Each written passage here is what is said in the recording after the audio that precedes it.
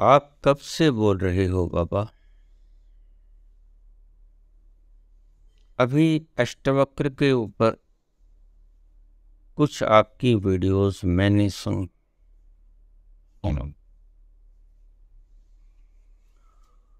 Ramandeep Australia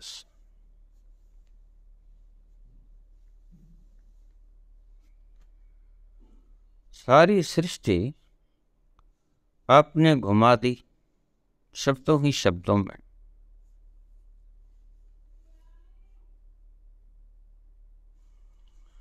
क्या कोई ऐसा मेथड भी है? आपने सात साल एक जगह बैठने के लिए भी बोला। ध्यान करो।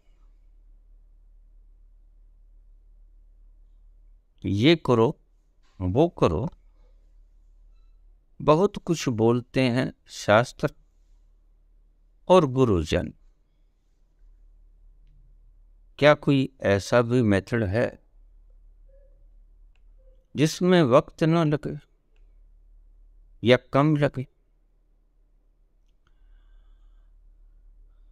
जैसे पूछा, जनक ने अष्टावक्र से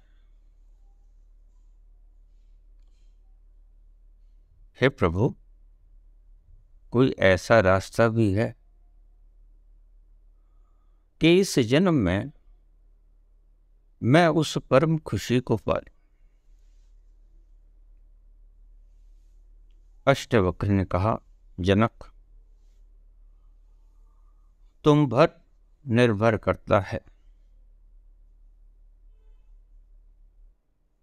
तुम योग्य हो। तुम्हारी स्थिति ऐसी है, राजा, कि जितना समय घोड़े के एक पायदान से दूसरे पायदान पर चढ़ने के लिए लगता है, उतनी देर में ही तुम पहुँच सकते हो। हे राजन तुम पके हुए फल हो। तुम्हें तो मैं इतनी देर में ही पहुँच जा सकता पूछ रहे हैं रमनदीप ऑस्ट्रेलिया क्या कोई ऐसा मेथड भी है?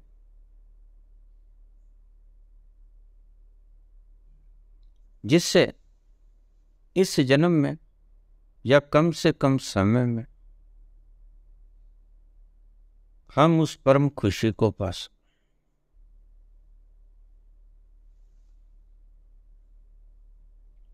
कृपया बतलाने का कष्ट करें।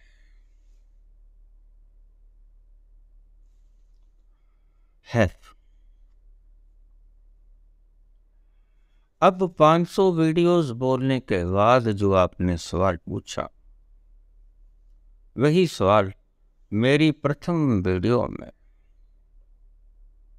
मेरे शिष्य दयानंद ने मुझसे पूछा था। और मैंने प्रथम वीडियो में ही उसका जवाब दे दिया था। समझ जाते मुमुक्षु।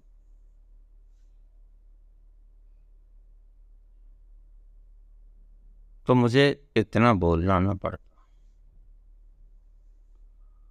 किसी भी संत को इतना बोलना तो पड़ता है। जितना समझाया जाता है, उसको तुम समझ ना पाओ तो। मुझे कोई बोलने का शौक नहीं था। ना ही मुझे कोई बोलने की बीमारी है। पहली वीडियो को सुनिए। कोरोना के वक्त लॉकडाउन हो गया था, सभी अपने घरों में बंद थे। कोई काम धाम ना था। कुछ करना ना था। कहीं जा नहीं सकते कहीं सैर सपाटा नहीं, कहीं बाज़ार नहीं। ना दुकानदार ने दुकान खोलनी थी, ना दुकान खोलने देते थे। ना मुलाजिम ने दफ्तर जाना होता था। सभी फ्री थे, कुछ नहीं करना था, और जो मैं कहता हूँ कि कुछ नहीं करना है, यह प्रकृति ने तुम्हें एक बहुत बड़ा मौका दिया एक वर्ष का निश्चित ही अगर तब आप उन दिनों का उपयोग कर लेते तो आज ये प्रश्न करने वाला मेरे सम्मुख यह प्रश्न न बिखेरता और सभी मुल्कों में यह हाल था। थ्रू आउट द वर्ल्ड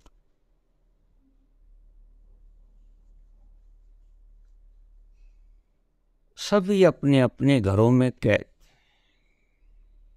कुछ न कर। बड़ा कारगर था। प्रकृति ने तुम्हें मौका दिया। स्वयं भी बन गया था सारा। माहौल।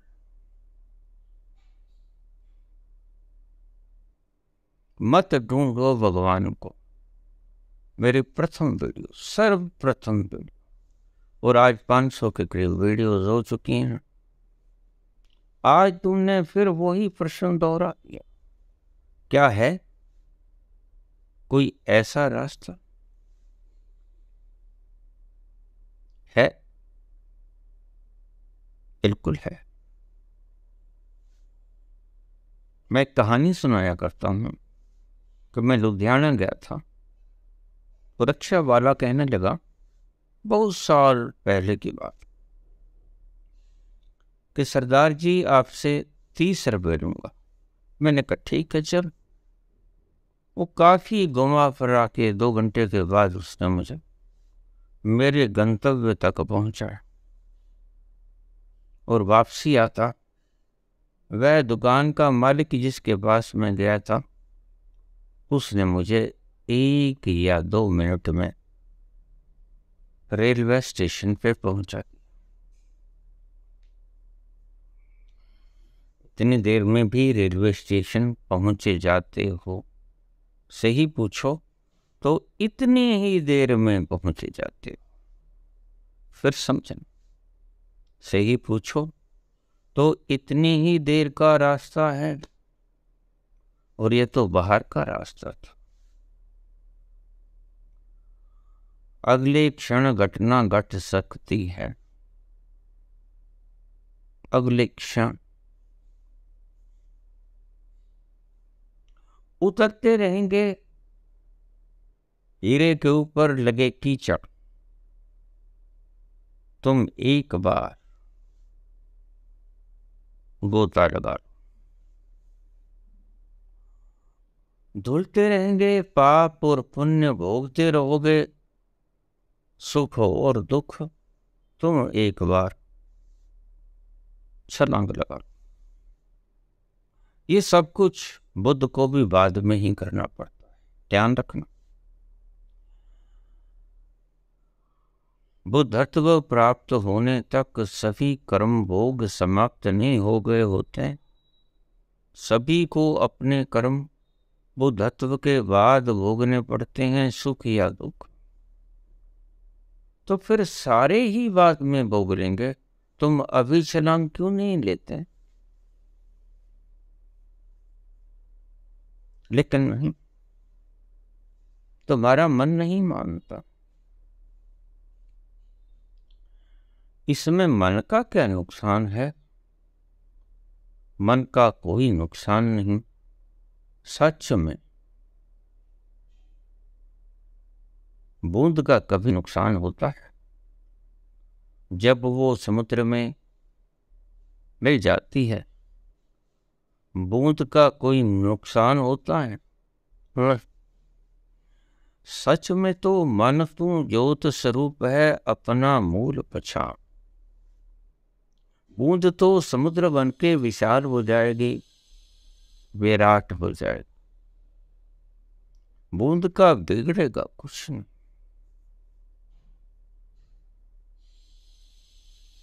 लेकिन क्या कम मैंने तो उसी दिन बोल दिया, आपने आज फिर वही प्रश्न पूछा।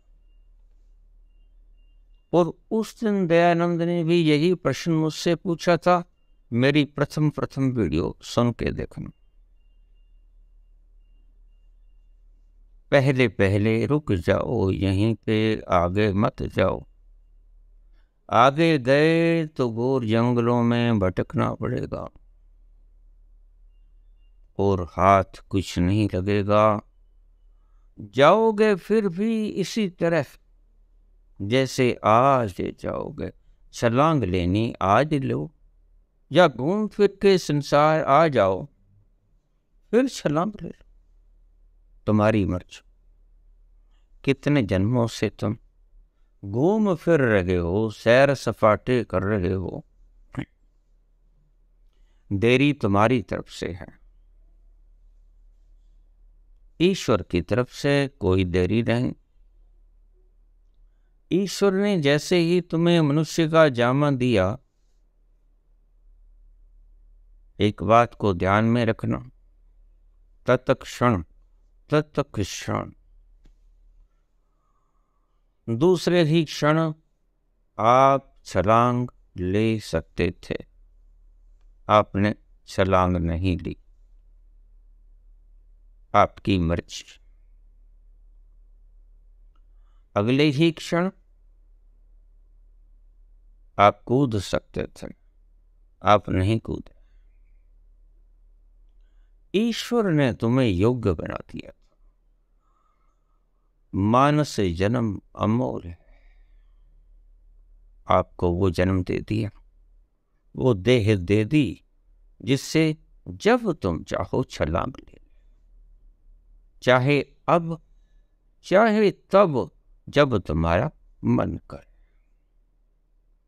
तुमने तब का रास्ता चुना और तब करते करते अब तक पहुँच गए हो, अब पूछते हो कि क्या कोई रास्ता है?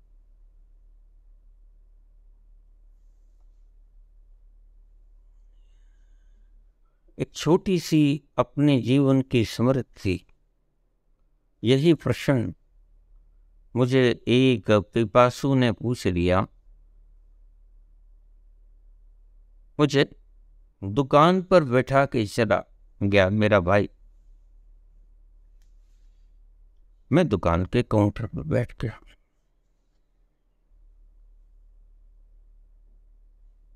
तो उसने मुझसे पूछा सामने बेंच के ऊपर बैठा हुआ। स्वामी जी, कोई ऐसा रास्ता है जिससे परमात्मा अगले ही क्षण में मिल जाए?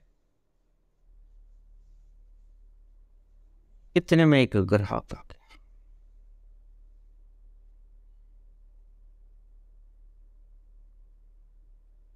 उस ग्राहक ने मुझे होजरी की दुकान थी।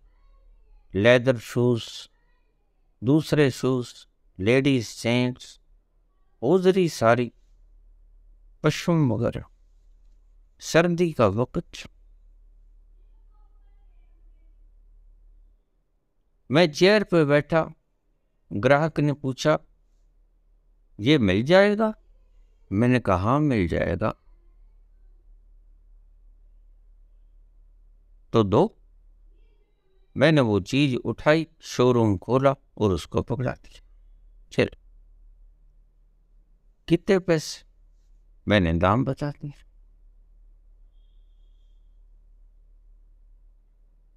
और दाम भी मैंने ऐसा बताया, जिस दाम में मैं खुद खरीद के लाया परचेजिंग मेरे पास। सारी दुकान की सारी परचेज वो चाहे कुछ भी क्यों ना हो, मैं ही खरीदा करता था।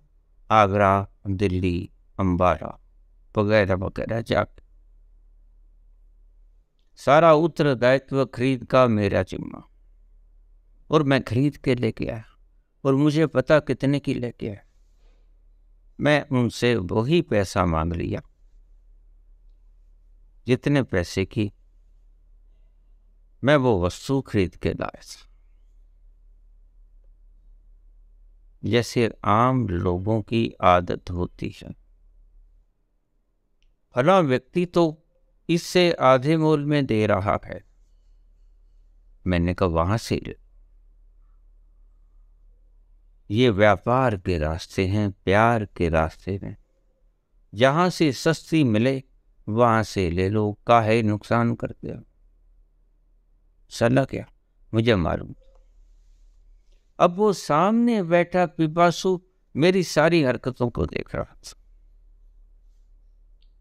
ये आपने क्या किया? कितने की आई? इतने की ही आई।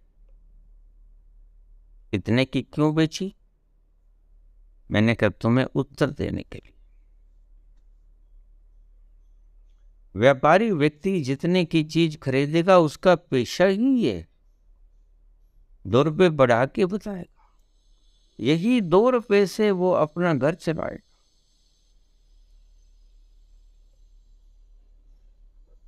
मैंने उतना ही भाव बता दिया, क्यों बताए? फिर तुम्हें यहाँ बैठने का, इतना कूड़ा कबाड़ा इकट्ठा करने का आवश्यकता क्या? मैंने कहा तुम्हें जवाब देने के लिए मैंने ऐसा किया। अच्छा तो मुझे जवाब तो नहीं मिला?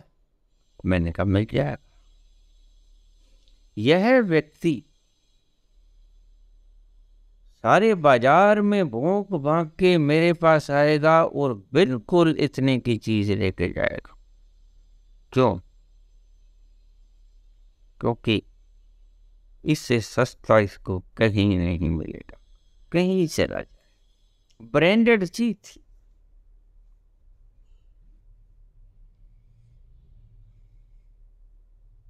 यहीं से खरीदेगा। सबसे आसान, सबसे सस्ता सौदा यही है।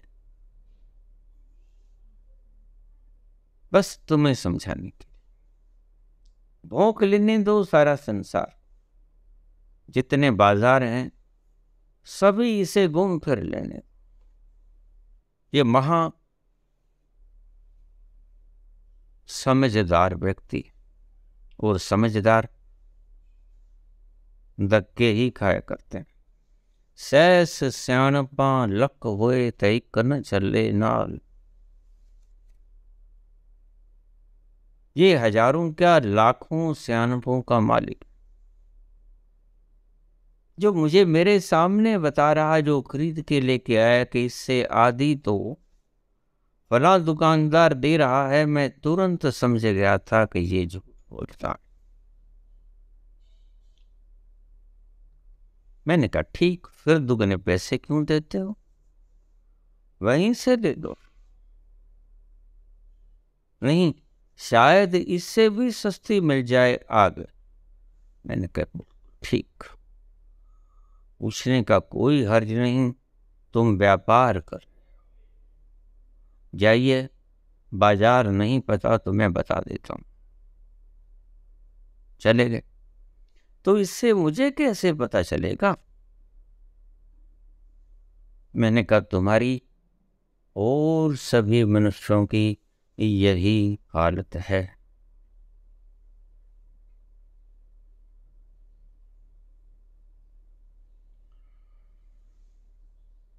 तुम घूम फिर के आओगे, सारा संसार भोंकोगे, भोगोगे। बड़े बड़े अनुभव इकट्ठे करोगे। अपनी सियानपों के कारण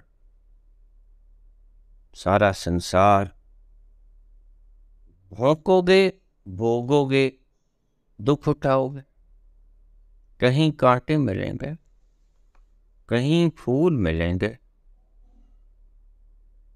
अलग अलग अनुभव, जीवन भर, और जीवन चूक जाएगा दूसरे जीवन, तीसरे अनंत जीवन तक तुम ऐसे ही भोंकते रहोगे।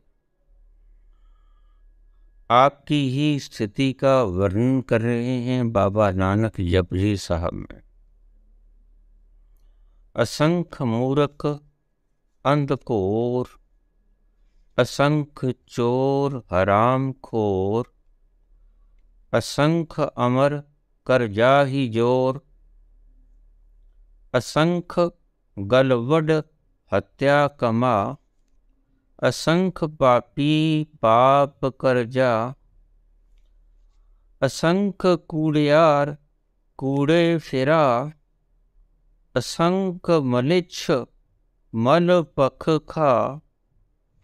असंख निंदक सिर कर ही पा। नानक नीच कह विचार, वारा न जावा एक बार। जो तुद पावे साई पली का ये सब वर्णन आपका है। शब्द लगाया असंग इनकी गिनती नहीं हो सकती। और आपके सारे वो कर्म गनाए, जो आप इस धरती पे आके करते हो। याद रखना, अगर वो कह रहे हैं कि मलिच असंख मलिच, मल पख खा। असंख मूर्ख अंधकोर अंधे हैं, घोर अंधे हैं। मूर्ख हैं, समझ नहीं। असंख्य चोर, हराम खोर। ध्यान रखना, ये किसी की बात नहीं कह रहे बाबा। असंख्य है गिनती में, और आप इस जन्म में नहीं तो किसी जन्म में ऐसे रहे हो, आपकी ही गणना बाबा कर। यद्यपि आपको समझ नहीं आप जब बाबा कहते हैं असंख्य चोर, हराम खोर, आप कहते हो, ये उनके लिए कह आप अपना अहम बचा लेते हो। नहीं, ये आपके लिए कह असंख्य मूर्ख, अंधकोर असंख्य चोर, हराम खोर, ये सब आपके लिए हैं, शब्द सुनते जाना। असंख्य अमर कर जा ही ज़ोर असंख्य गलवड हत्या कमा। असंख्य लोग ऐसे हैं जो हत्या करने में, दूसरे का गला काटने में भी गुरेज नहीं करते। अनगिनत ऐसे हैं असंख्य अमर कर जा ही ज़ोर, जो अपने ज़ोर बाहुबल के कारण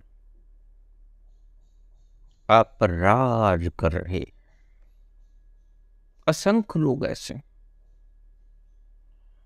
और आपके जन्म भी असंख्य ही हो चुके हैं। और असंख्य जन्मों में आपने जो बाबा बोल रहे हैं, वो सब कुछ किया है।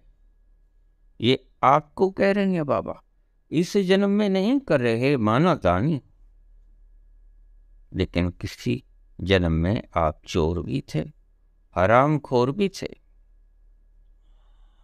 असंख्य गलवड हत्या कमा असंख्य पापी पाप कर जा।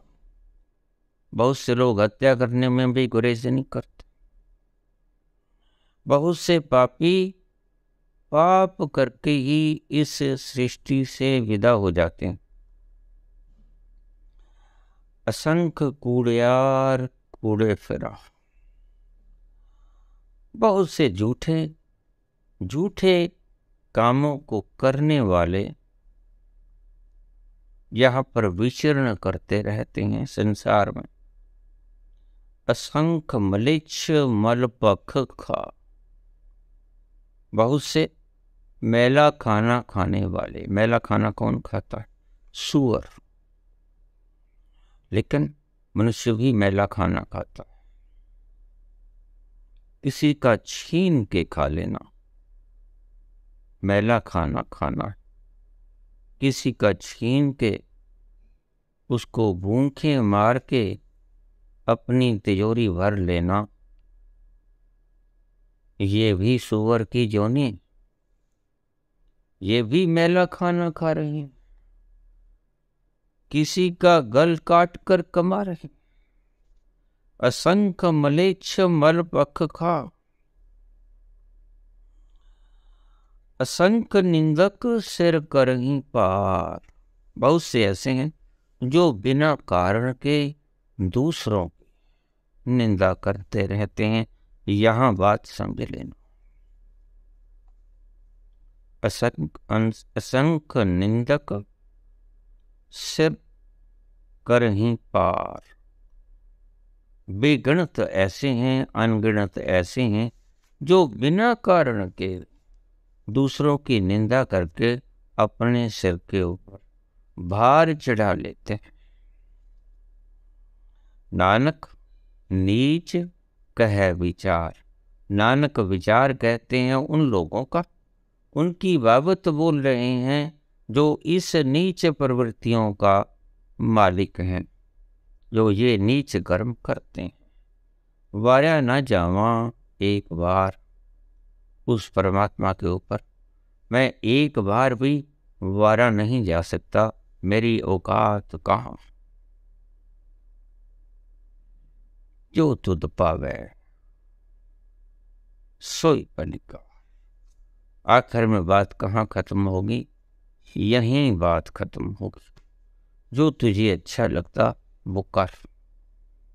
लेकिन करोगे कब? भूख भूख के आ जाओगे सारा जमाना। अनंत जीवन व्यर्थ करोगे। असंख्य कर्म, मैले कर्म। अपनी नीच बुद्धि के कर्मों के कारण इकट्ठे करोगे, अपनी पोटली भरोगे, झोली भरोगे और फिर चले जाओगे अगले जन्मों में। अगले जन्म से अगले जन्मों में, अगले जन्मों में ऐसा तुम्हारा मार्ग चलता रहेगा। तुम भोंकते रहोगे। सारी धरा छान लोगे। और यही कुछ करते रहो।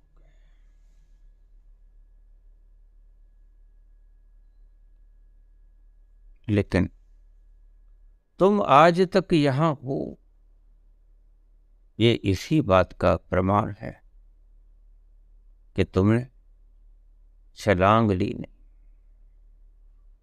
तुम आज भी वही हो। यहाँ सौ, दो सौ, पाँच सौ साल पहले थे। चाहे तो अगले जन्म में भी मुक्त हो सकते थे पशुता के बाद के। प्रथम जन्म में भी, प्रथम क्षण में भी मुक्त हो सकते थे, क्योंकि मान से जन्म की यह अपॉर्चुनिटी है एक। घबराना मत, कि मनुष्य जन्म मिला तो इसमें भोग कर ही जाएँगे, ये तो तुम्हारी इच्छा है। भोग के जाना चाहते हो तुम स्वयं। ईश्वर नहीं कहता कि अवश्य में भोग के ही जाना ने ईश्वर कहता है, तुम्हारी मर्ज़ी। मैं तुम्हें स्वतंत्र करता हूँ। चाहो इसी क्षण छलांग ले। चाहे अनंत वक्त तक इस सृष्टि पर बने रहो। मेरे घर कोई कमी नहीं। बेअंत, बेपरवाह। आज साइंस ने कुछ भी नहीं खोजा और जो खोजा उससे हथ प्रभ है इतनी दूर दूर के ग्रह नक्षत्र देख रहे हैं मात्र जहाँ पहुँचा तो कभी जा ही नहीं सकेगा। आज की पीढ़ी चलेगी। करोड़ पीढ़ियाँ बीत जाएँगी। पहुंचोगे फिर भी नहीं। इतनी दूर तुम देख लेते। इतने ग्रह नक्षत्र, इतनी पृथ्वियाँ इतने सूरज, इतने आकाश, इतने पाताल। तुम देख लेते हो, पहुँच पाने की तुम्हारी सामर्थ्य नहीं तुम्हारी हज़ारों, लाखों, करोड़ों पीढ़ियाँ समाप्त हो जाएँगी। लेकिन ये सृष्टि की यात्रा कभी खत्म नहीं होगी। इतनी विशाल रचना है उस विराट मर्द।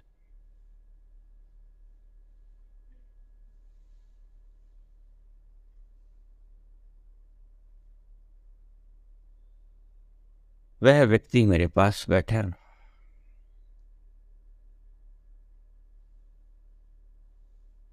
बातें बताता रहा उसे मैं सब। बहुत शास्त्र बहुत मत है। बहुत प्रकार से उन मतों की व्याख्या हो सकती। बहुत तरीकों से वहाँ तक जाया जा सकता है। वो रक्षा वाला अगर ईमानदार होता, चाहता तो मुझे एक मिनट में पहुँचा सकता। गुरु गल्प मिल गया उसने मुझे चौड़ा बाज़ार गुड़ मंडी, ऊपर से होके पशम मार्केट सारे कहीं घुमा के। फिर वो मीना बाज़ार की संकरी गली से चौड़ा बाज़ार में से होता हुआ मुझे मीना बाज़ार लेके गया। बहुत वक्त भी चुका।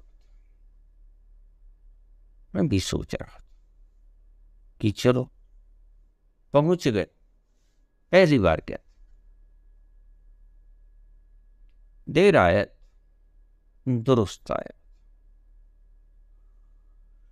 यद्यपि देर से पहुँचे, लेकिन सही ठिकाने पे पहुँच। दो घंटे के बाद हम बातें करते रहे।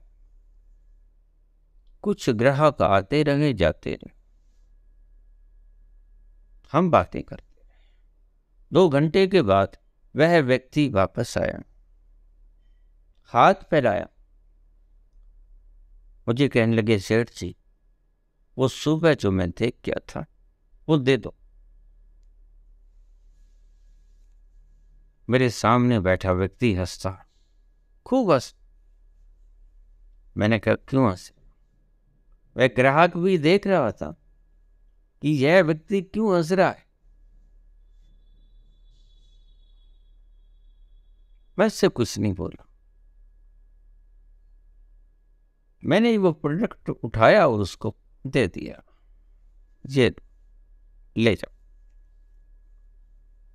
क्या हुआ? आखिर में वहीं आना पड़ा। क्यों? सबसे सस्ती थी ये। सस्ती का अर्थ तुम्हारे शब्दों में आसान मार्ग। आसान मार्ग यही है। हज़ारों लाखों जन्मों तक भोगने के बाद जो कदम उठाओगे, वो आज ही उठा लो ना। जो कुछ आप यहाँ देखोगे, ध्यान रखना साथ नहीं लेके जाओ सारी समृद्धियाँ यहाँ रह जाती हैं। तुम्हारे साथ जाती हैं सिर्फ़ समृद्धि की परछाइयाँ। असली कापी यहाँ, तुम्हारे साथ सिर्फ़ कार्बन का, और वो भी इन शॉर्ट। जैसे जिस व्यक्ति को उम्र कैद होती है कत्ल के मसले में या फांसी की सजा होती है, उसे फांसी की सजा सुनाते वक्त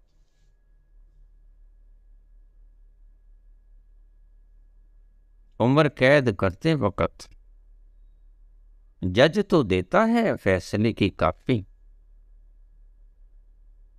लेकिन वो व्यक्ति सिर्फ़ कैदी बन के रह जाता है, उसे पता ही नहीं चलता। कि ये फैसला हुआ कैसे? वकील को पता चलता है। वह भोगता है, लेकिन उसे पता नहीं होता कि किस कानून के तहत ये सजा मुझे मिली, क्योंकि कानून की किताब तो बहुत लंबी चौड़ी सभी ने पढ़ी ये नहीं होती। वो सजा काटता है। गुनाह कर दिया, सजा काट। मुक्त हो जाओ। गुनाह करोगे, अच्छे कर्म करोगे, सजा काटोगे, सुख भोगोगे, दुख भोगोगे, क्या ज़रूरी है क्या? ये भटकन आवश्यक है क्या? और ये भी हो सकता है इस भटकन के अंदर तुम अपना खुद का परिचय ही भूल जाओ। आज की तरह, आज ऐसा ही हुआ है। तुम अपना परिचय ही भूल गए।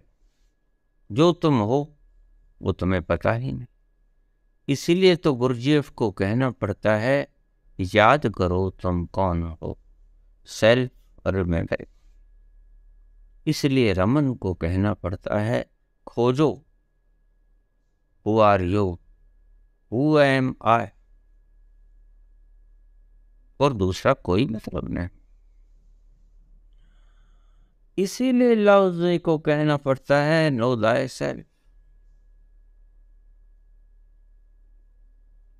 ये पहले दिन भी कहा जा सकता था। मनुष्यत्व से पहले दिन तक, पशु योनि में तो तुम इससे योग्य ही नहीं थे। लेकिन जैसे ही तुम मानव योनि में आए, अगले ही क्षण तुम छलांग लेने में समर्थ तो थे। छलांग ली नहीं। इतना बर्मा दिया इस सृष्टि के लशक दशक लेकिन तुम भूल गए। All that glitters are not gold ये चमकने वाली सभी चीज़ें धोखा है। सैस सियाणपा लख हो गए। चल नाल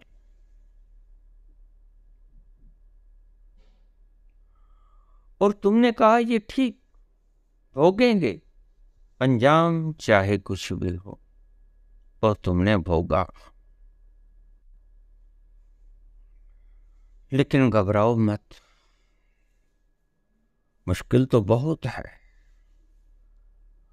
मुश्किल तो तेग बहादुर के वक्त भी थी।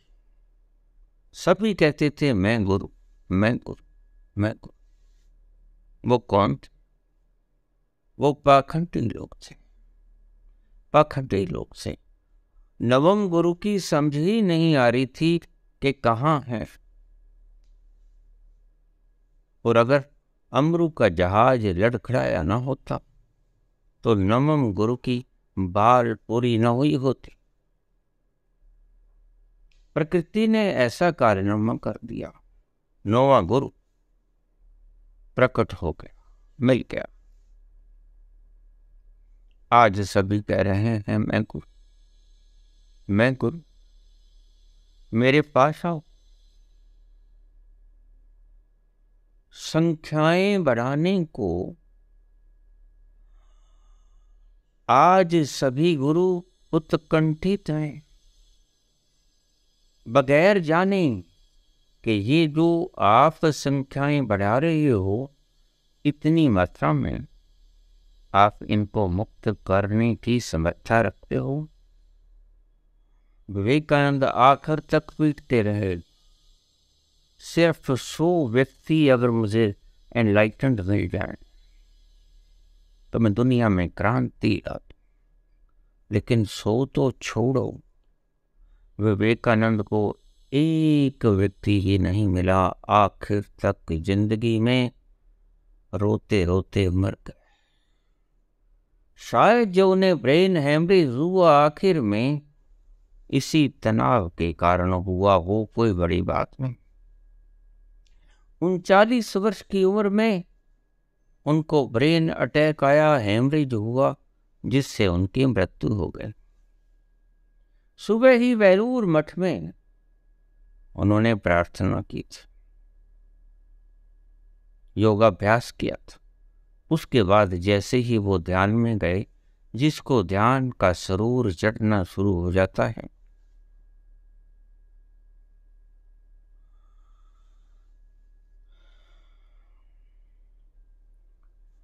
इश्क पे ज़ोर नहीं, इश्क पे ज़ोर नहीं ये वो आतिश है गालिब इश्क पे ज़ोर नहीं, ये वो आतिश है गालिब जो लगाए ना लगे और बुझाए ना बने। तुम्हारे लगाने से ये लगती है और फिर जब लग जाती है, जो लगाए ना लगे और बुझाए ना बने, और फिर तुम्हारी इच्छा से ये बुझती भी नहीं। ये वो आग है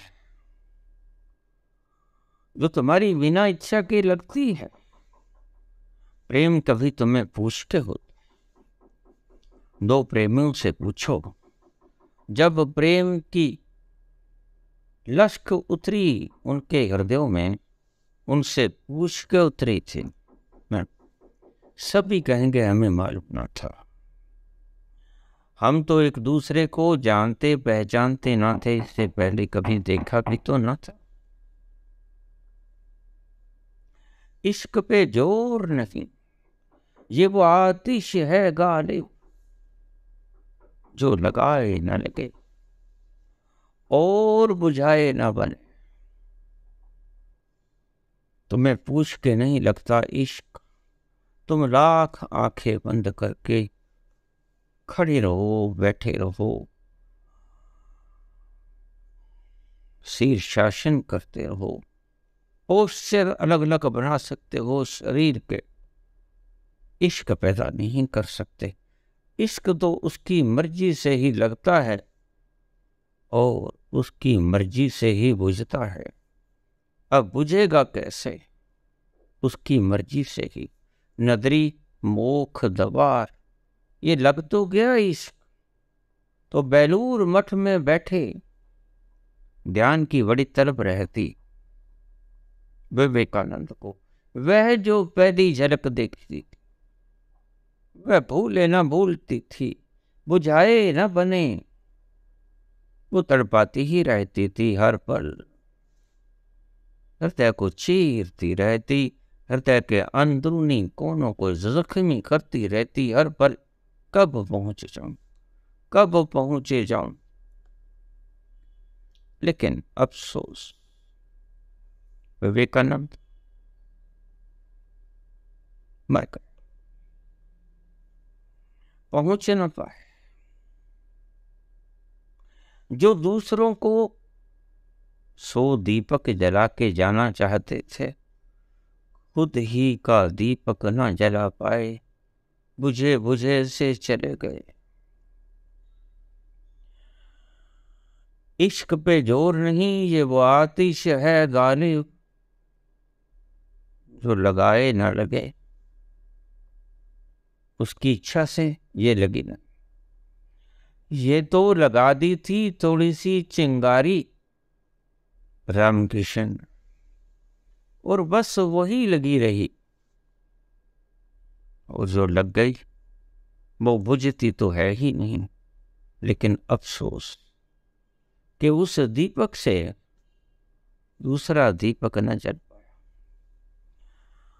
उस दीपक से खुद ही को जागृत न कर सके।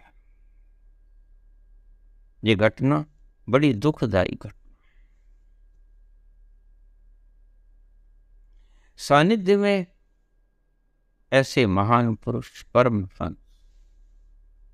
और व्यक्ति पहुँचे ना, कष्टकारी घटना और विवेकानंद आखिर तक संबोधि को प्राप्त नहीं सतोरी की जरक बखूबी देखी, रोज देखते थे, लेकिन पहुँच न पाए।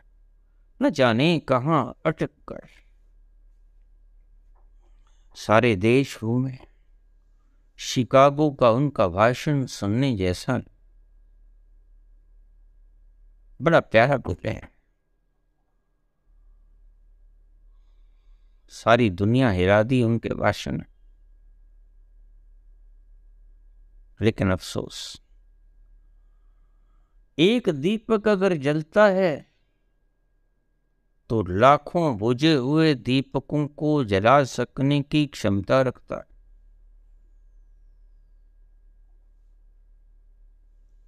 लेकिन लाखों बुझे हुए दीपक, एक दीपक को जलाने की क्षमता नहीं रखते। दीपक लाख बुझे हों, एक दीपक न जला पाएँगे। एक आँखों वाला, लाखों अंधों को मार्ग बता सकता है। लाखों अंध है। एक रास्ता बताने वाला खोज नहीं सकते। यही दुविधा है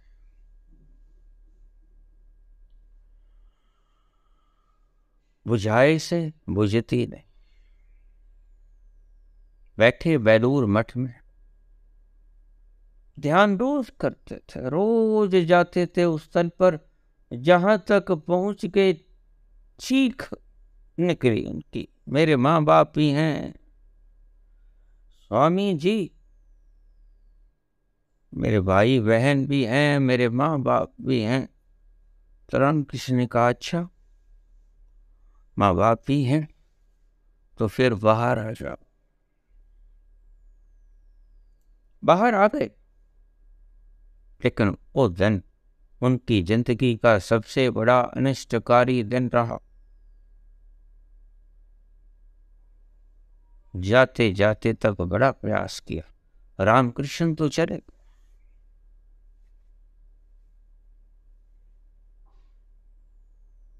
लेकिन विवेकानंद खुद से कभी जागृत हुआ जा सकता है। भला बुझा दीपक अपने आप प्रज्वलित हो सकता है। उसे जला हुआ दीपक चढ़ और ध्यान रखना। जला हुआ एक दीपक, लाखों दीपक उसके बिल्कुल करीब भी क्यों ना बैठे हों।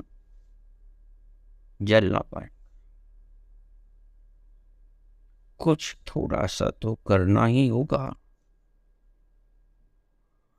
बाती का मुख जनती बाती से लगाना होगा, इतना तो करोगे।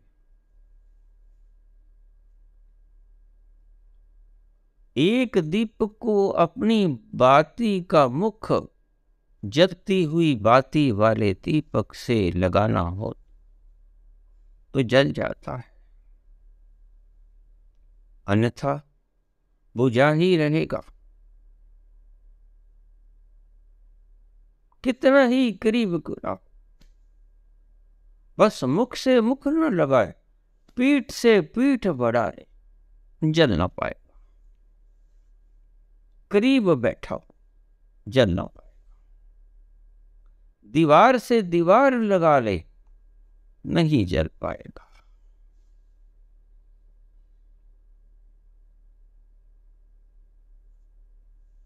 वह व्यक्ति चला गया मेरे पास। बहुत हंसा वो व्यक्ति। मैंने कहा, यही है सत्य।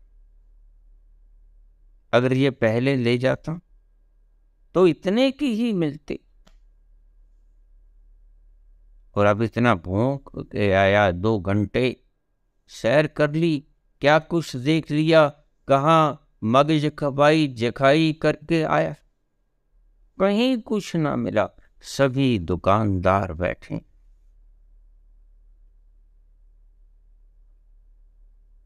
यहाँ सारे जगत में छीना छपटी के अलावा तुम कुछ न पाओगे।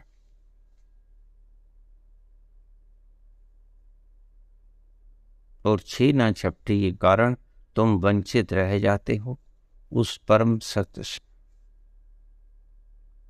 है, एक रास्ता है। छोड़ दो सभी रास्तों। अनेकों बार मैंने कहा, इन शास्त्रों को एक स्थान पर आलमारी में बंद करके रख बहा दो गंगा। जला दो। इनकी कोई आवश्यकता नहीं। तुम्हारे ही भीतर तुम्हारा ही जलता हुआ अस्तित्व बैठा है।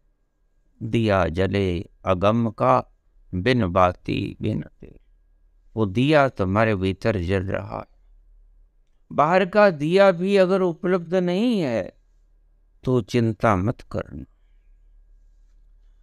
भीतर का दिया मज़े से तुम्हें जलाते। कोई फ़िक्र मत करना। अगर कोई ऐसा भागा क्षण इस धरती पे आ जाए कि कोई सदगुरु न बचे,